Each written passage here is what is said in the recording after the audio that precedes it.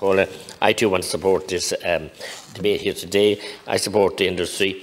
I have no truck or trust in any of the unscrupulous uh, breeders, a tiny minority that are out there. I want to um, acknowledge the prowess that we have for the horse racing and the greyhound industry in Tipperary.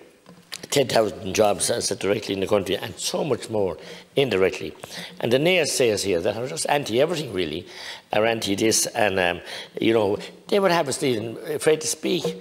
I was speaking today, was an issue on leaders' questions, and one of our same heroes here was tweeting within 30 seconds of my speaking that I was dog whistling. Who do you think they are to control this uh, democratically elected uh, parliament? I, for one, won't be silenced by them in any of my, any of my views or opinions, and I thank the Leas-Cheann Comhairle and Ceann Comhairle for their protection in that right. But these people talk about polls. Where are these polls done? And they pay students and young people to come along doing uh, uh, picketing and come along doing other issues around uh, around the, the, the, town of Clonmel. We have a stadium, a Greyhound Stadium in Clonmel. Wonderful stadium now. We have one in Thurles as well.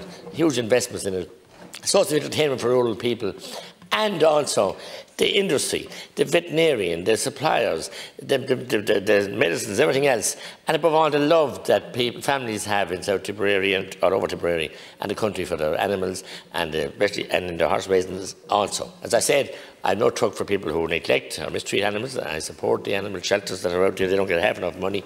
But when uh, some deputies here want to come up protesting and we have lurchers and they think it's greyhound, they'll tell you what they know about the business and what's going on there. So I commend this piece of legislation and support it wholeheartedly.